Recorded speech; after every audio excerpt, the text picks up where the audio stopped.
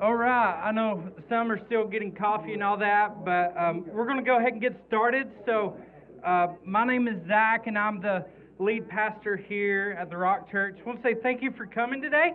Um, hope you're having a good time. And if you need to refill on coffee, there's more of that back there. But um, so, did everybody enjoy an extra hour of sleep? Yeah. Hey, just a little um, little stat. You know, um, I've I've been a pastor um, for over 10 years, and just so you know, every time fall, um, whenever the fallback time happens, time change, everybody's typically late. Isn't that funny? Um, and, and so I think that's pretty funny. So um, anyway, if you missed any of the previous messages, whether you're here or watching online. You can check those out at rockchurchspokane.com um, and stay up to date with everything that's going on. So, um, if you're a first time guest with us today, want to let you know this is a great time to come. We're starting this brand new series called Purpose. Um, and, you know, one of the um, one of the most searched questions in the Spokane area is what is the purpose of life? What is the meaning of life. So we're going to look at some of these things um, and looking at purpose and, and let you sh- um, hear about things in my life, then also um, things that I believe could be game changers for you. So um, this is really cool. If you have a um, the program that you were given at the door inside of there has those um, connect cards and new here cards. And, and you can fill those out, then drop those in the connection box in the back. Also, um, if you've been with us for a little while, uh, a little over a month ago, we became our own local church, and we started as a campus of a church, but now we have local leaders and everything like that to to help um, make decisions and, and, things that are going on. And if you've been here, you know that space has been a um, issue for us, which that's not necessarily a bad thing, right? Um, but I'm, I'm glad that we have two services now, and different people are, are going to different ones to help um, with space, and that's really cool. So if you made, if you're one of the ones that made the sacrifice, thanks for doing that. Um, it is our goal to be a place where you can be real, be real with God and real with others. Um, and it's our goal um, to reach out to the community and serve our community the best way that we can. And we want you to be a part of that. So, simply, if you're here right now or watching online, what you can do is get out your phone, open up Facebook, um, and then if you check into the Rock Church, we'll provide meals and things for Open Doors, which is a emergency family homeless shelter. Um, so you can you can help us make a difference in the community simply by opening your phone and checking in on Facebook. Isn't that cool? Yeah, that's cool. So. Um, man, purpose, talking about purpose, um, we could go all over the place, you know, when it comes to me, especially being a guy. Um, you know, when people meet me, um, one of the things that they do, they say, Hey, what do you do? Right? They don't necessarily think about um, who I am, what my exactly my name is, where I'm from, or anything like that. They want to figure out um, what do you do? That's, that's what they ask because a, a lot of times we um, find purpose and we find value in what we do for a living. Does that make sense? So, for example, if, um, if you see a greeter at Walmart, like I think that would be a pretty cool job, but I am a little weird in, in that avenue. Um, I do like to talk to a lot of people. So um, if there's a um, greeter at Walmart people view that person, or a janitor, people view that person different than a CEO of a company, right? Um, and, and a, a, lot of times we find value and we search for purpose in all the wrong places. And more than likely, um, if you're anything like me, you've struggled with trying to find purpose and what is the purpose of life? Am I wasting my time? Have you ever thought about some of those things? Like, is this really worth it? You know, when we say yes to one thing, we say no to a bunch of other things. Does that make sense? When we say yes to one thing, we say no to a bunch of other things. And, so today, what I want you to do is get out that insert that was inside the program um, that you were given at the door, and it says message notes. I want you to write down something. Um, can you do that? Uh, um, and those of you watching online, you could just get out a sheet of paper and, and write down um, the answer to this question. So, um, we make sacrifices all the time, whether we realize it or not. And so, what I want you to do, I want you to write down something that you've said yes to that cost you a lot. What's something you've said yes to that costs you a lot? It may not be um, a lot of financial things, but maybe you said yes. Have you ever said, let, let's do this. Have you ever said to somebody, yes, I will help you out, but then after it went on for so long, you were like, I wish I would have said no. Has anybody ever did that? Maybe it's just me. Maybe y'all have it all together. Y'all need to be up here. That's what I know. Um, but you know, I, I want you to write that down. What's something you said yes to that it cost you a lot?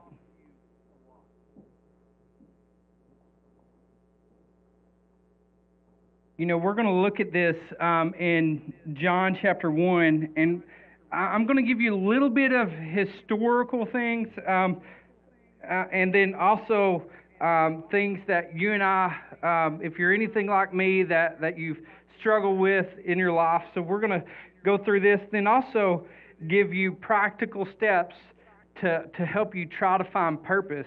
Um, but has anybody ever been frustrated with people? has anybody ever been hurt by people? Hey, one, one of the things that this one preacher said, his name was Adrian Rogers, and he said, Ministry wouldn't be so bad if you didn't have to deal with people. And it's like, yeah, that's right. And we would be fine if we didn't have to deal with people. But unfortunately, um, and the reality is that God has made it set up to where we live um, and communicate with other people. And so a lot of times um, there's past hurts that keep us um, from searching for purpose and things. So I'm going to pray and then we're going to get into this. All right? So let's bow our heads. We'll pray together. God, thank you for today, um, those here and also watching online.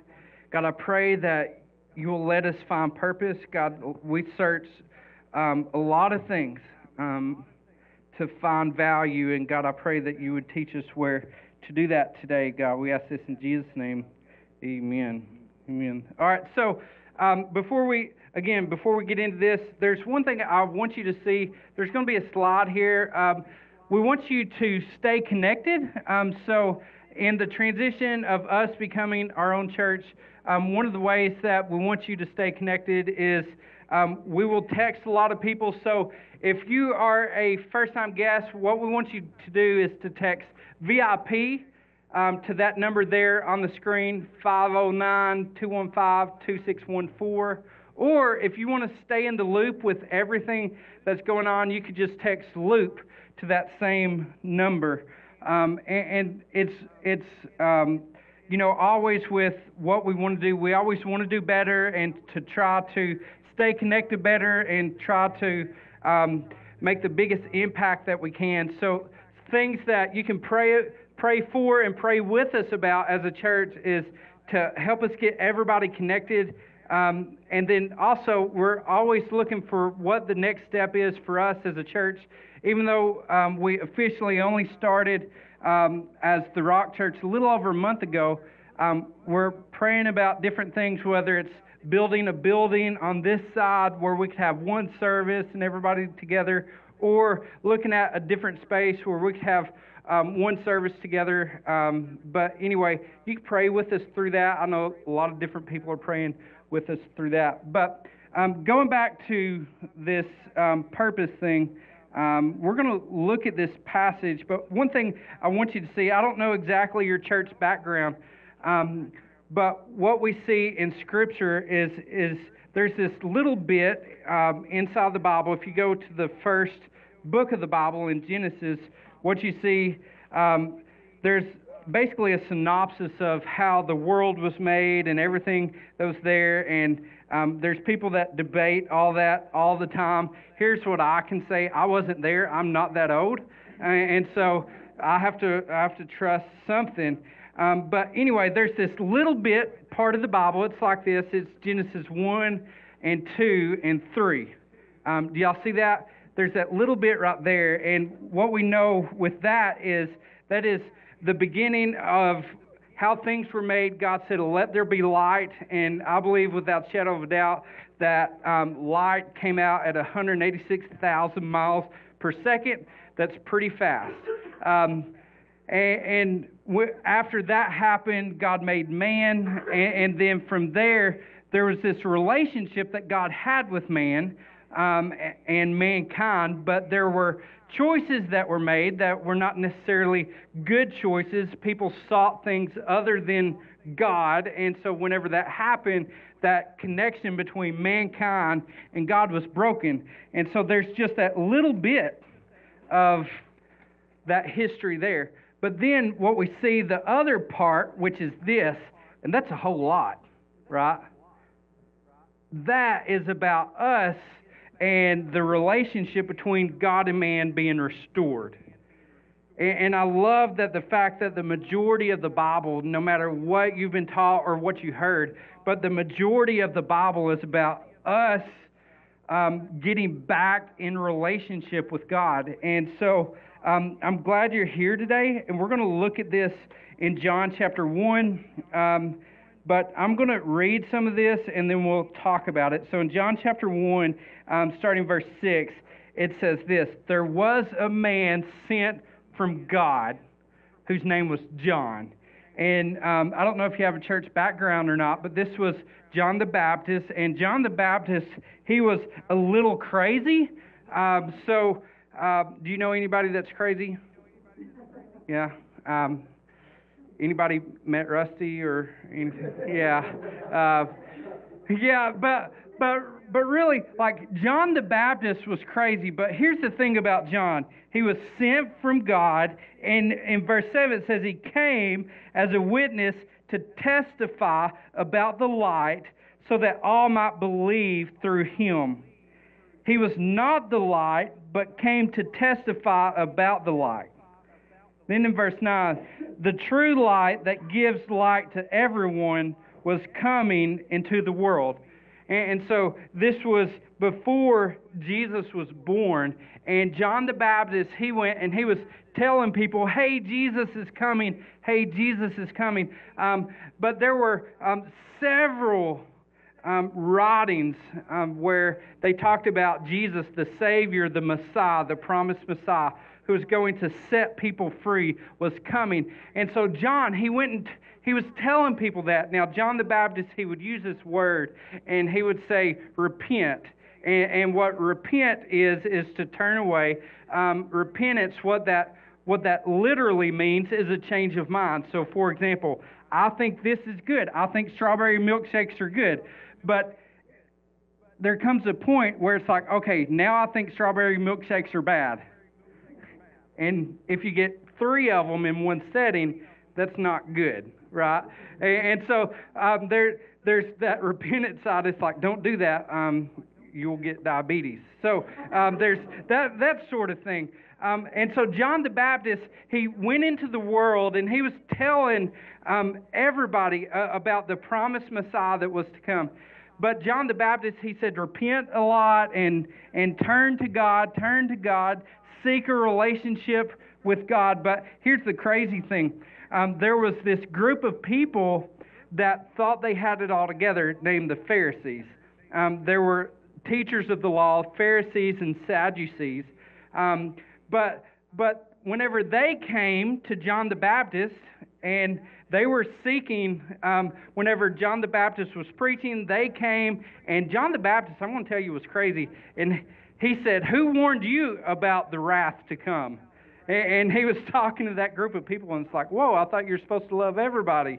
And but John the Baptist was weird. He um, ate locusts and like honey and all kinds of stuff. It was a little weird. Um, it's much weirder than the look that you have on your face right now. I, I promise. Uh, but but anyway, he was something I want you to see was that John the Baptist. We see in verse six he was a man sent from God. And a lot of times, um, you know, depending on our background, it's hard to find purpose, right? Um, with past hurts and things, it's hard to find purpose. And, and even with me, it, it's, it's been hard in my life to try to find purpose because um, it seemed like a lot of my friends growing up it seemed like they had everything together. It seemed like their family was together. It seemed like they had a mom and dad and things in their house where with me, I didn't have that. I never knew my biological dad. And so um, it seemed like everybody else had things together except for me and, and my family. So when it came to purpose, it was like surely God couldn't use me because of some of the situations that I was was dealt. Can you track? Does that make sense? Have you ever felt like there's no way that God could use you because of your past? Right? We struggle with that. And, so, because of past hurts and things, we, it's hard to find purpose. But John the Baptist, he was here um, and he was telling everybody about Jesus. And then in verse 10, it says this um, he, and now it's referring to Jesus, he was in the world, and the world was created through him, yet the world did not recognize him. So, what we see is that John the Baptist was telling the Jews, um, telling the Jewish people, um, hey, this Messiah's coming and he's going to be born of a virgin and all these things. But then when he came, people didn't recognize him. And, and so a lot of times um, we can be in that same form too because the Jews, they got away from God and they started focusing on, all right, what, what right things can they do to earn a relationship with God? But it was, it's different. Like, um, we don't earn our way to God. We don't do that. There's, and this may be mind blowing. I don't know if you've ever heard this, but the Bible teaches that there's nothing that you and I can do for God to love us more. Holy cow. That's much different than anything else that we know, right? Because everything else is, well, for this person to like me, I need to do something for them, right? Are you tracking? For, for this person, for, for this person to be faithful to me, I have to do a lot of things for them, but God's much different. And, and what happened was the Jews were focused, um, they, they got off track and they weren't searching for purpose. And you and I, if we're not careful because of past hurts, we could just end up start living our life and think, you know what, this is it. I wake up, I go to a sucky job, and then I come home, and then home's a mess, and then do it again tomorrow. If we're not careful, we will get in that same routine. Right? It's easy to get in that because we lack purpose. But you know, when you find purpose, everything changes. So for, for me, um, lacking purpose lacks drive. If there's no purpose, it's easy for me to give up. If I don't see the purpose in something, then it's like, all right, why try? Why should I try? Why should I be nice to people? Why should I care for people? Like, why should I not hit this person in the throat? Right? Like, how, how come how come I need to do this? How come I need to love them? Um, but there we can find purpose and there is purpose and i want you to write down this main point. You'll see it here on the screen but look at this. You find purpose when you spend time with god. I don't know if you've ever done that before. I don't know your church background. I don't know if this is the first time you're um, exploring this faith thing or maybe you have um, been on this journey for a little while but I, I really know this that you find purpose when you spend time with God. Because this world, according to this world, I would really have no purpose because we see in Scripture like the least of these, and that was that was me, the least of these. I, I was I was the drug addict's kid. I, I was all that. I came from the broken home um, and all that. And and maybe you have a, a background where people didn't like you because of um, who you were, where you were born. You know, I was born on the wrong side of town, right? And, and so, because of just how I was born, some people didn't like me. Because of the neighborhoods that I lived in, some people just didn't like me. But um, the world would say Zach Minton has no purpose and he's too broken. And I, I think that you and I, we share some of that. I think we share some of that. But sometimes it's hard to admit it because we want to find purpose. Have you ever thought, well, if I got this job that had this title, then people would respect me? You ever thought that? If I was the boss, if I had the manager position, then people would respect me. And then I would have purpose. But you see, you and I, we go through things. And I, I think this I think um, God doesn't necessarily cause bad things to happen.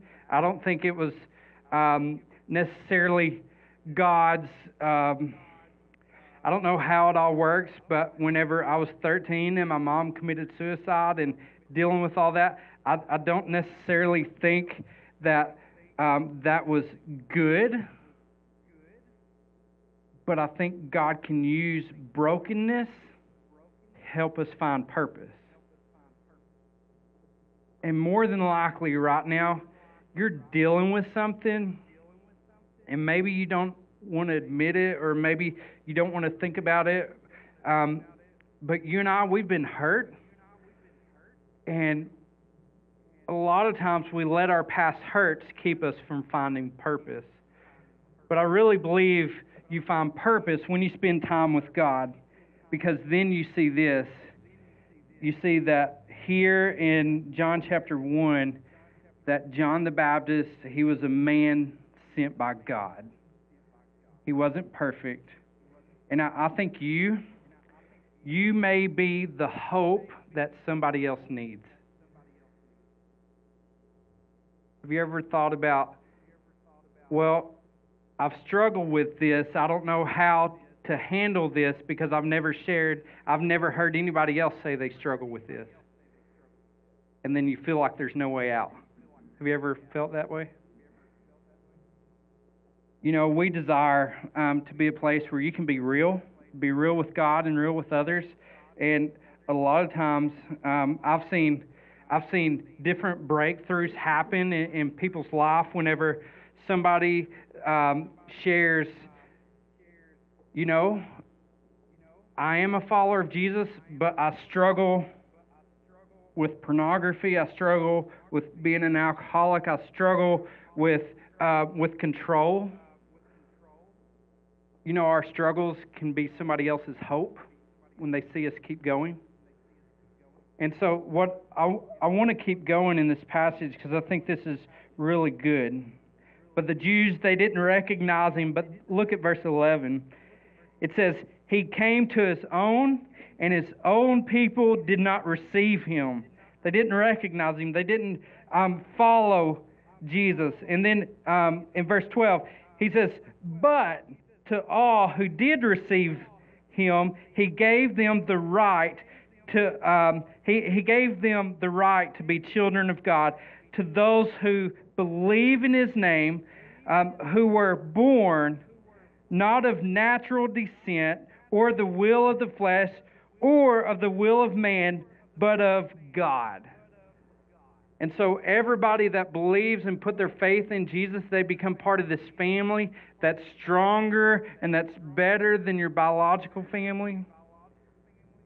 And maybe you've experienced that. Maybe you've experienced how those of you who have been on this journey for a while, maybe you've experienced like your church family being closer than your real family and can believe in you where your real family can't. Um, but, but here, what we see, we have this right to be part of the family of God. And here's something that's really crazy. what's really crazy is that God, whenever we put our faith in Jesus, and it's not necessarily a prayer to pray, but instead it's God changing our hearts and um, awakening our soul. But whenever we um, put our faith in Jesus, it's not like God just says, you know, I'm just going to write off their sin and write off their rebellion and write off all their brokenness. He, he's not saying, I'm going to dismiss that. But everything has to be paid for. It's kind of like a ticket. If if you drive, did anybody get a ticket? Has anybody got a ticket in the past six months? oh wow, a lot of them. Um, I just wanted to know. That was that's kind of fun. Um, but but really, if you get a ticket, you have to pay a fine, right? But but check this out. When it comes to you and I, if we put our faith in Jesus, um, the fine had to be paid. But the only one who could pay it is Jesus. And he said, I will pay their mess ups. I will die on their behalf. Isn't that crazy? Think about the love of Jesus. That's kind of crazy, isn't it? Like, can you imagine giving everything you have, giving your life for somebody who may or may not follow you? Who who says, you know, I who who will say I love you, but life doesn't show that. Isn't that crazy that Jesus still says, hey, I'm still going to do it? But then what we see um, in verse 14, it says, The Word became flesh and dwelt among us. We observed his glory, the glory as the one and only Son from the Father, full of grace and truth. So Jesus is full of grace and truth. And grace is God giving what we don't deserve. And for you and I, what we, I don't know, I don't know. Um, but I know me, I don't deserve anything because of my past. I don't deserve to be here. Matter of fact, I don't even deserve to be alive because of choices that I made. And if you knew what I've done, I think you may not be here. But God is a God of second chances. God is a God who shows grace and giving us what we don't deserve. So I woke up this morning and God gave me breath. And then also some good coffee. Right. And and there there is that. Thank God for coffee. Um, but but God gives and you know He gave me a wife where I wake up and she's there. Because there was a time in our marriage where she wasn't at the house anymore. I wake up and God's given me my kids. And Nicole and I, we we struggled with having kids. We went through miscarriages and all that. And to see my kids, as much as sometimes they get on my nerves, and maybe you're like, well, I don't think you should say that about your kids. Hey, you can spend time with them. Like, I mean, my, my kids are really good. I'm, I'm, I really believe that. But, but sometimes, you know, it, I just need me time. And so God, He He's given me friends that stick closer than a brother. God gives me second chances and third chances. But what kept me from finding purpose is I was trying to find purpose everywhere else except for the one place where I could find it. But I had I had to get to a place where I said, you know what? I'm going to spend time with God. And what that looks like is reading scripture, and what that looks like is prayer. And I know that sounds really churchy and, and all that, but it's true. But Jesus is full of grace. Isn't that good? Yeah? But Jesus is also full of truth. And the truth is, is that we are broken. And we're not just broken by bad choices or bad mistakes.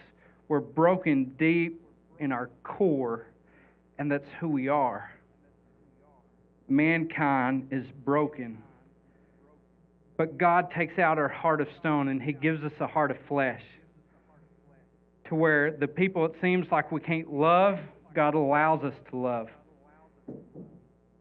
And what's what bothers me, and I, I don't know, I, I, shared this the first service, and um, I'm going to share it now, and, and I don't know exactly what you think or where your um, what your views are, but what we read um, is that there's there's this relationship with Jesus that we should strive for. And what the world tells us is that you're not good enough and there's no way that you can have a relationship with God and you are broken. That's what the world tells us. But Scripture says that you and I are worth it. Jesus said they are worth it, so I'm going to die on their behalf. Jesus said, I'm going to give them purpose. And we need to live our life on purpose when it came to me, my mom, um, she was going to abort me because she was having an affair with another guy. So you think about, well, you feel like you have no purpose. Well, I was in an accident. But you know, I was made on purpose for a purpose. And it's not just me, it's you. You're made on purpose for, for a purpose. But the reality, what we see in Scripture is, is that there's this, um, and I know if you don't have a church background, you're like, oh, don't go here. But just, just hear me out. Can you hear me out? Like, we see that Jesus on the cross, he told um, one of the guys that was next to him, he said, hey, today you will be with me in paradise, this heaven. But then there's this also this other thing called hell. And what terrifies me is, is that we've been taught in America well, if we pray a prayer, then everything is just fine. And if we go to church, then everything's okay. But this hell thing was not meant for you and I. It's not. Scripture teaches that hell was designed for Satan and his angels. And then you, you and I, we were made to have a relationship with God. And that's not church attendance. That's not how much money we give away. That's not how nice we are to other people, but it's a relationship with Jesus. It's those who believe in Jesus.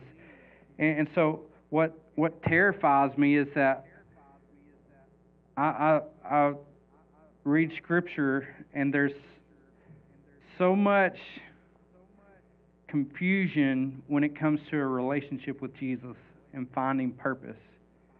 But I believe this I believe Scripture is pretty clear when it comes to salvation, and that you and I, we need Jesus more than we need our next breath.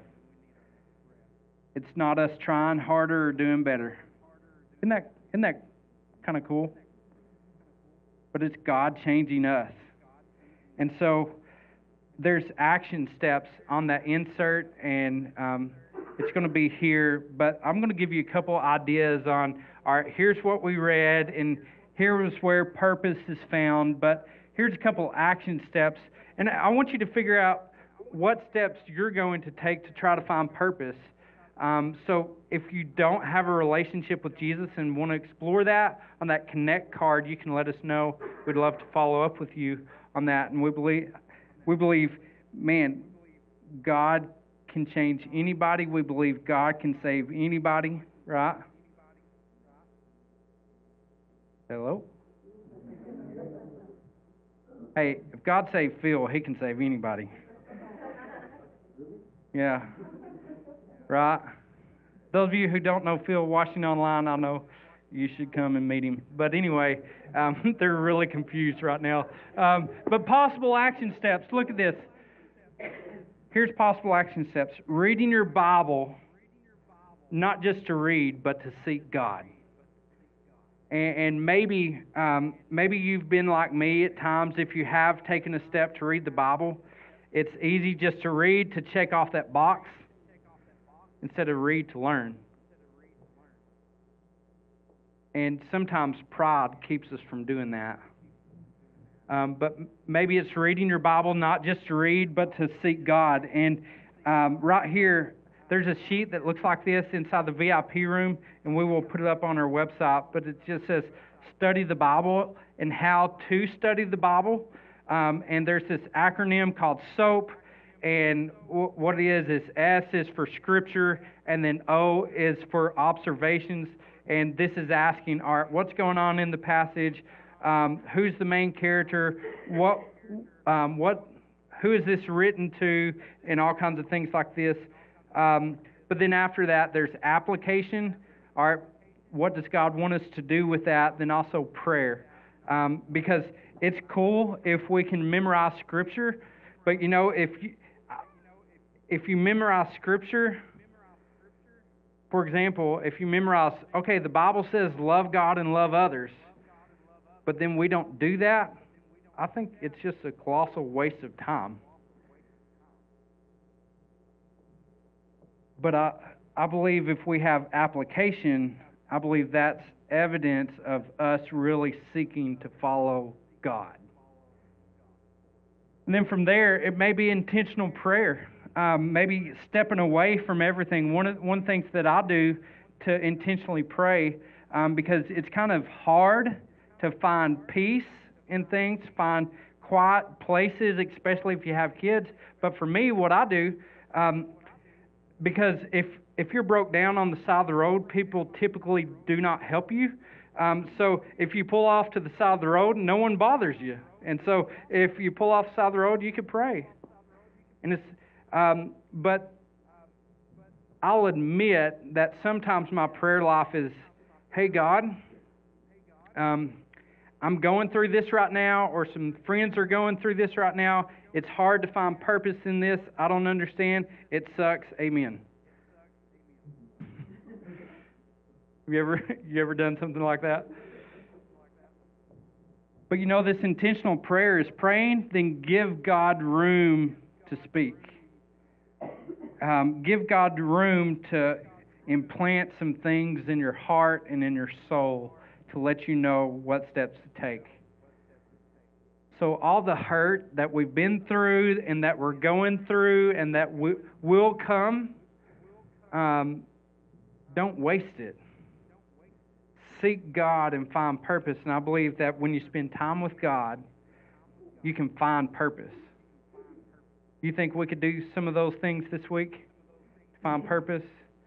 Um, I'm going to pray, and the band's going to come up and lead us in a few more songs. But if you want to talk um, anything about a relationship with Jesus, I'd love to talk with you. Um, Rusty to also be in the back. We'd love to um, connect with you in that way. But let's all bow our heads, and we're going to pray together.